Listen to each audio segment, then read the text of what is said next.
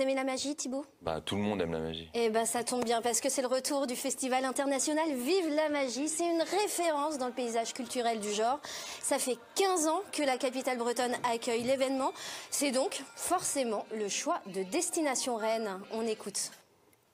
Un festival unique en son genre, créé à Rennes, qui permet de mettre à l'honneur des artistes de tous horizons, mentalistes, manipulateurs, comiques, enchanteurs, magiciens et illusionnistes se produiront devant le public. Dix artistes talentueux à découvrir au Triangle, un spectacle d'une heure 45, c'est à partir de 5 ans et vous retrouvez la billetterie sur tourisme-rennes.com.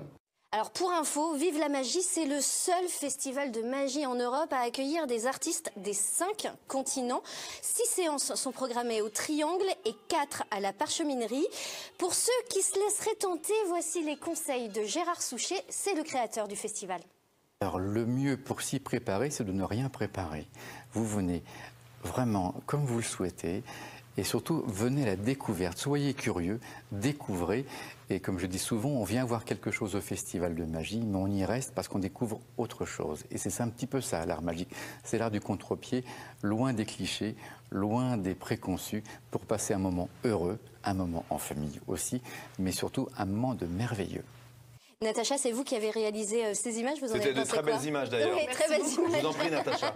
Bah oui, j'ai pu aller à la Générale ouais, cet après-midi et euh, les mentalistes, c'était impressionnant. Découvrir une série de, de 16 chiffres euh, inscrits euh, sur un tableau par euh, quelqu'un tiré au sort euh, dans, dans le public, c'était Ça vous impressionnant. fascine. Ouais, Et donc le, le niveau est international, on ne parle pas d'un petit, co- d'un C'est ça. petit Cinq euh, spectacle continents de- représentés quand même. Des Australiens, etc. Ouais. C'est le plus grand cabaret du monde à Rennes, quoi. C'est ça.